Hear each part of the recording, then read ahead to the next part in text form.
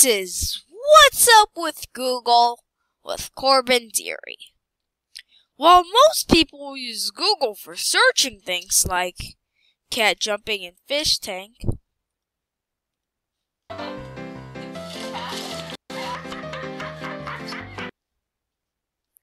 company is much more than that.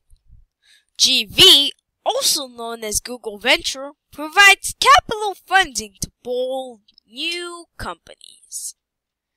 Today's company is in the commerce category and is called Modsy.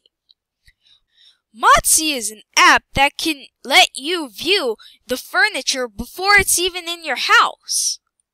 What you have to do is discover your style, take photos of your room, see your space redesigned, and then shop your look.